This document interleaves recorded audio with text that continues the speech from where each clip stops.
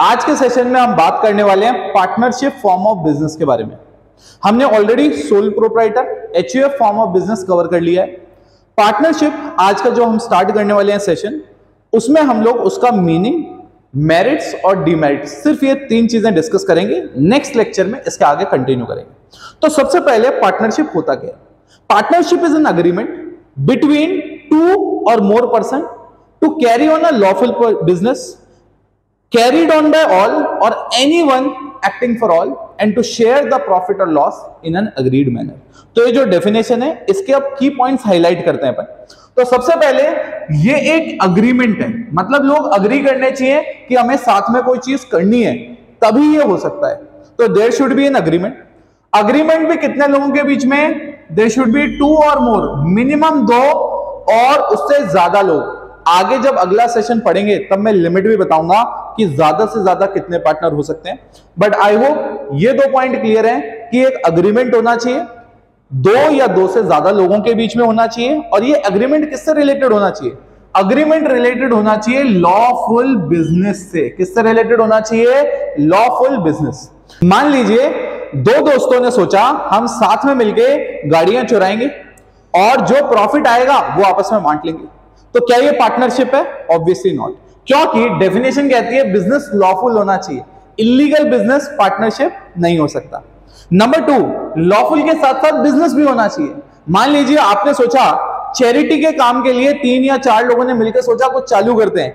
वो भी पार्टनरशिप में नहीं हो सकता। क्यों? क्योंकि पार्टनरशिप में बिज़नेस होना ज़रूरी है। तो हम कहाँ तक पहुँचे?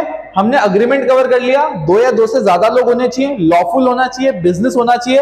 And it can be carried on by all or any one acting for all मतलब पार्टनरशिप में सब साथ में भी मिलके काम कर सकते हैं, या कई बार रोल बांटा हुआ भी हो सकता है। मान लीजिए, मैं मार्केटिंग देख रहा हूँ, कोई दूसरा बंदा सेल्स देख रहा है, कोई तीसरा बंदा ऑपरेशंस देख रहा है तो अगर मान लीजिए मैंने मार्केटिंग में कोई डिसीज़न लिया तो वो पूरी फर्म के लिए एप्लीकेबल होगा।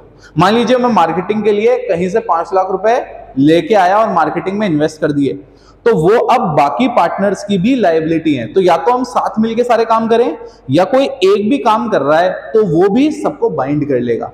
तो मैंने कहा, चौथा पॉइंट भी कवर हो गया carried on by all or any one acting for all and finally जो भी प्रॉफिट्स वगैरह आएँगे, जो भी हमारा अग्रीड रेशियो है, उसमें वो क्या होगा? डिस्ट्रीब्यूट हो जाएगा बढ़ जाएगा. सो so गाइज़ हमने मीनिंग पार्टनरशिप का बहुत अच्छे से कवर कर लिया.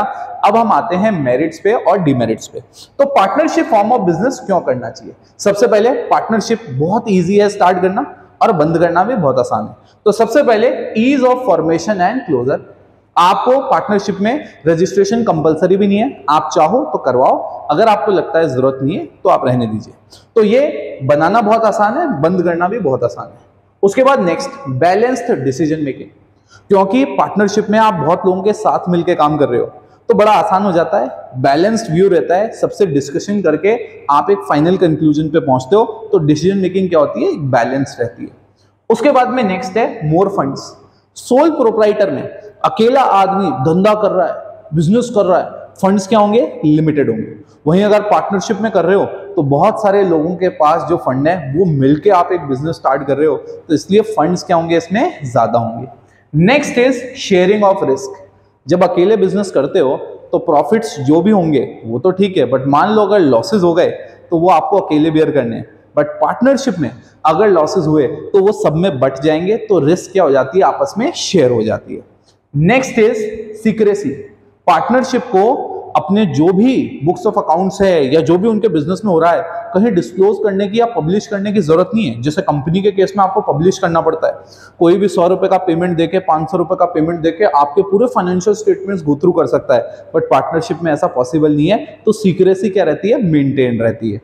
अब स्टार्ट करते हैं गाइज़ हम डीमेरिट्स के पार्टनरशिप के नुकसान क्या हैं। अगर आप इस फॉर्म ऑफ़ बिज़नेस में आ रहे हो तो आपको क्या क्या इसमें लिमिटेशंस देखने को मिलेगी? सबसे पहले number one is unlimited liability partners की अनलिमिटेड लाइबिलिटी होती है। मतलब अगर मान लो उनका जो भी शेयर ऑफ़ लॉस है, वो अगर आता है तो उनके पर्सनल एसेट्स भी बेचे जा सकते हैं।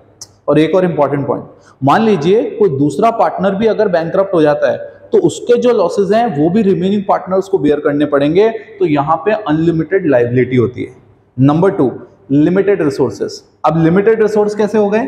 डेफिनेटली सोल प्रोप्राइटरशिप से तो ज़्यादा रिसोर्स हैं बट कंपनी वगैरह से कंपेयर करोगे, जो थोड़े से बड़े स्ट्रक्चर हैं, उनके कंपैरिजन में आज भी क्या है? रिसोर्सेज लिमिटेड है, क्योंकि ज़्यादा से ज़्यादा 50 पार्टनर हो सकते हैं। तो रिसोर्स तो क्या है? लिमिटेड है। कंपनी में पब्लिक कंपनी जो है, उसमें अनलिमिटेड मेंबर्स हो सकते हैं। तो यहाँ पे लिमिटेड रिसोर्सेज आपके पास रहेंगे। Next is possibility of conflicts ऐसा हो सकता है कि पार्टनर्स जब कुछ डिस्कशन कर रहे हो तो या तो मान लीजिए सब अग्री कर रहे हैं तो कोई टेंशन नहीं है। बट एक पार्टनर का एक्स ओपिनियन है, दूसरे पार्टनर का वाई ओपिनियन है तो कई बार क्या होता है कि ओपिनियन में हर एक की राय डिफरेंट होने की वजह से कई बार डिसीज़न मेकिंग थोड़ी सी डिले भी हो सकती है कॉन्फ्लिक्ट भी हो सकते हैं।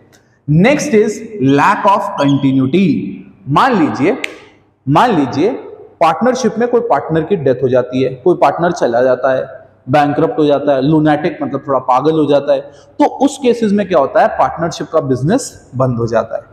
तो ये भी एक प्रॉब्लम है कि किसी एक पार्टनर के जाने की वजह से इतने सारे केसेस जो बताए, उनमें से एक भी कुछ हो गया तो पार्टनरशिप बिज़नेस क्या हो जाता है, बंद हो जाता है। तो कंटिन्यूटी का इश्यू है। Next is lack of public confidence कि जो पब्लिक है, उनका कॉन्फिडेंस कम रहता है, क्योंकि डेटा वगैरह पब्लिश होता नहीं है इंटरनल रहता है तो लोगों का पार्टनरशिप पे ज़्यादा कॉन्फिडेंस आ नहीं पाता। सो so गाइस आज का जो सेशन था, हमने इसमें तीन चीज़ें कवर करी। हमने सबसे पहले पार्टनरशिप का मीनिंग कवर किया, उसके क्या मेरिट्स हैं, फ़ायदे हैं एंड फाइनली उसके क्या लिमिटेशन है। अगले सेशन में हम लोग टाइप ऑफ़ पार्टनरशिप कवर करेंगे और थोड़ा बहुत रजिस्ट्रेशन के रिगार्डिंग इसमें बात करेंगे। Till then take care bye bye